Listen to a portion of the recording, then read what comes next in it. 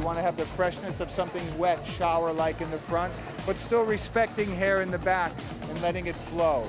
So it kind of really falls along the lines of really the design of what uh, Monique is, was working towards.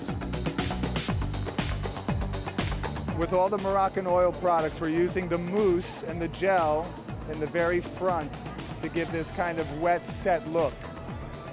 And we won't really be brushing it later, so it kind of holds that really hard look.